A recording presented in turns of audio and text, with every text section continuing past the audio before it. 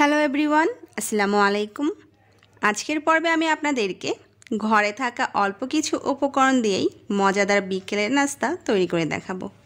আশা করি আপনাদের কাছে আজকের এই রেসিপিটি ভালো লাগবে। এর জন্য প্রথমে একটি বোল নিয়ে এর মধ্যে নিয়ে নিয়েছি এক কাপ পরিমাণ সুজি।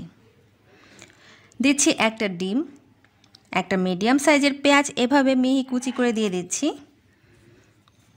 দিয়ে দিচ্ছি কুচি করা পাঁচটা কাঁচা মরিচ ধনে পাতা কুচি দিচ্ছি এক মুঠ পরিমাণ। এখন দিচ্ছি হাফ চা চামচ লবণ ওয়ান ফোর চা চামচ দিয়ে দিচ্ছি টালা জিরার গুঁড়া এবং সামান্য পরিমাণ দিয়ে দিচ্ছি গরম মশলার গুঁড়া। এখন একটা হুইস্ক দিয়ে সবগুলো উপকরণ খুব ভালোভাবে মিশিয়ে নিতে হবে। তারপর অল্প অল্প পানি দিয়ে ব্যাটারটা গুলে নেব।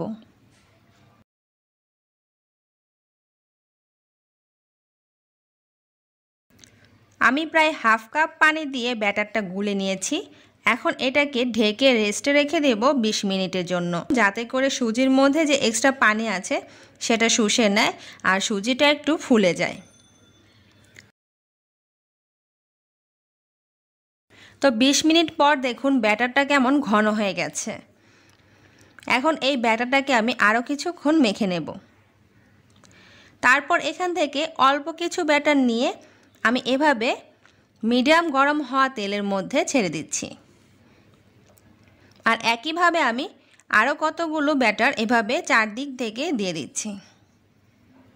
এখন এগুলোকে আমি উল্টে পাল্টে গোল্ডেন ব্রাউন করে ভেজে নেব। তো দেখুন, আমার প্রথম ব্যাচের বড়াগুলো ভাজা হয়ে গেছে। এখন আমি এগুলোকে তেল ঝরিয়ে একটি প্লেটে তুলে নিচ্ছি।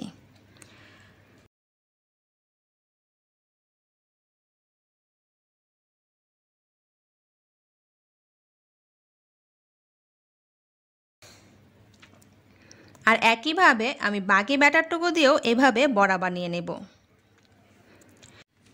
আমার সবগুলো সুজির বড়া ভাজা হয়ে গেছে। এখন আমি আপনাদেরকে একটা বড়া ভেঙে দেখাচ্ছি যে ভেতরের দিক থেকে কেমন হয়েছে। সুজি কিন্তু স্বাস্থ্যের জন্য অনেক উপকারী, তাই বাচ্চাদেরকেও এভাবে ঝাল কমিয়ে বানিয়ে দিতে পারেন, খেতে পছন্দ করবে। আশা করি আমার আজকের রেসিপিটি আপনাদের কাছে ভালো লেগেছে। আর এই ধরনের আরও অনেক রেসিপি পেতে আমার চ্যানেলটি সাবস্ক্রাইব করে নেবেন। আজকে তবে এখানে বিদায় নিচ্ছি। সবাই ভালো থাকবেন। আল্লাহ হাফিজ।